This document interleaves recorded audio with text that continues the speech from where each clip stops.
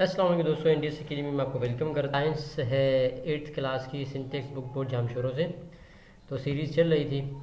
तो बायोटेक्नोलॉजी के बारे में थोड़ा सा जानते हैं। कहते हैं कि in previous chapter you studied in details how nucleus of living cells is with different code and information necessary for the life process कहते हमने पिछली जो है वो चैप्टर में पढ़ा था कि न्यूक्लियस के बारे में डिटेल के जानदार के जो सेल होते हैं, उनमें न्यूक्लियस कैसे पैक्ट होता है। उसमें इंफॉर्मेशन पैक कैसे होती है कोड्स कैसे होते हैं, वगैरह वगैरह। Scientist studies briefly D N A D N A because the life growth and unique features of an organism depends on its D N A कहता है कि साइंसदानों साइंसदानों ने डी एन ए को पढ़ा था, क्योंकि डी एन ए ही वजह है उन फीचर्स की जिस तरह आज डी एन ए से डिपेंड डी एन ए पर डिपेंड करता है।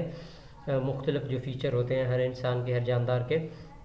Scientists use several laboratory techniques to change the DNA of living organism to produce desired qualities of a correct, in characteristic result in a improved living standard for human being. कहता है कि साइंसदानों ने क्या किया कि कोशिशें की लेबॉर्ट्री में मुख्तलिफ़ टेक्निक्स इस्तेमाल की जिस तरह डीएनए एक जानदार का जो है वो उसकी क्वालिटी चेंज करके जो डिज़ायर्ड क्वालिटीज थी जो वो चाहते थे वो बनाकर इंसान ज़ात के लिए बेहतरी ला सके उसकी ज़िंदगी को बेहतर बना सकें उसके अलावा कहता है कि बायोटेक्नोलॉजी जो है वो साइंस की एक ब्रांच है जो डील करती है माइक्रो ऑर्गेनिजम्स के साथ, ठीक है?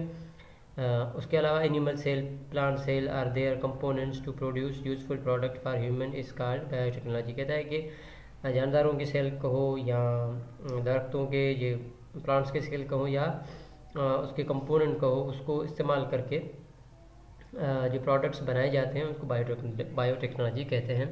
तो ये थोड़ा सा इंटरव्यू ओवरव्यू इसका, वो है। आगे चलते हैं। सबसे पहले हमारा असल में टॉपिक जो है बायोटेक्नोलॉजी वो ये है बायोटेक्नोलॉजी क्या है, उसकी बात अब समझते हैं। तो the word biotechnology is derived from two words bio and technology ठीक है बायोटेक्नोलॉजी दो वर्ड से बनी है बायो और technology bio means life bio means ज़िंदगी and technology means scientific method to create new product and solutions कहता है कि लाइफ टेक्नोलॉजी की मुराद आपको पता है कि वो तरीके जिससे एक वो साइंसी तरीके जिसकी वजह से नए पैदावार, नई चीज़ें बनाई जा सकें।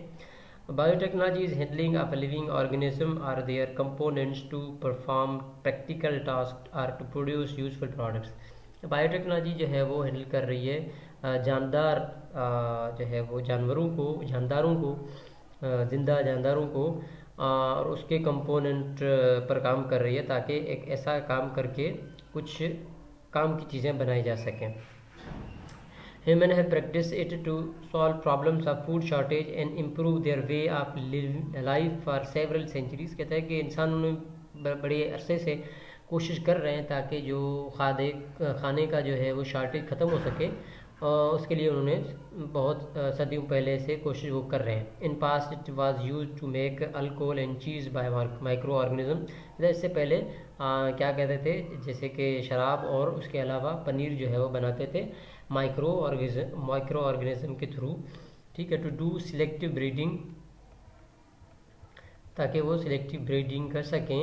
अच्छा सिलेक्टिव ब्रीडिंग क्या है? एक प्रोसेस होता है जिससे नए organism new organism with desirable characteristic of livestock in field crops to produce antibodies from microorganism and synthesize antibodies कहता है कि असल में सिलेक्टिव ब्रीडिंग क्या होता है? एक प्रोसेस होता है जिससे क्या कहते हैं कि नया ऑर्गेनिज्म बनाएँ जिसकी डिज़ायरेबल जो डिज़ायरेबल करेक्टरिस्टिक हम चाहते हैं, जो हम चीज़ें चाहते हैं, वही बने।